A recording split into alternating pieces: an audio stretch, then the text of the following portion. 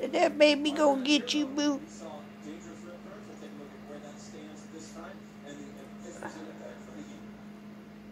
And now is the time to prepare for the storms. If you don't know where to start, or you just a reminder about some things, we can certainly help. Just go to WEARTV.com and click on Storm Watch 2023. You'll and guide with information on the next hurricane preparedness tax holiday, evacuation routes.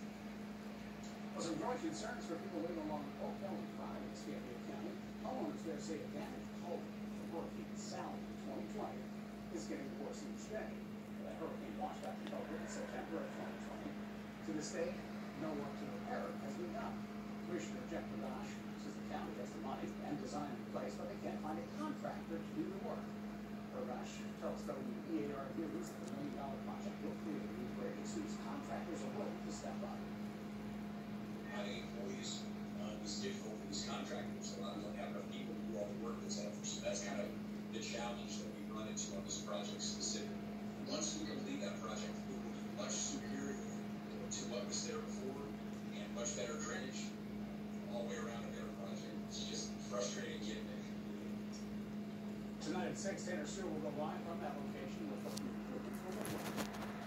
A shallow water, shallow water is a, you know, hook. Trying to get her car repaired after it was left with a bullet. Where is it, boo boo? Also involved shooting.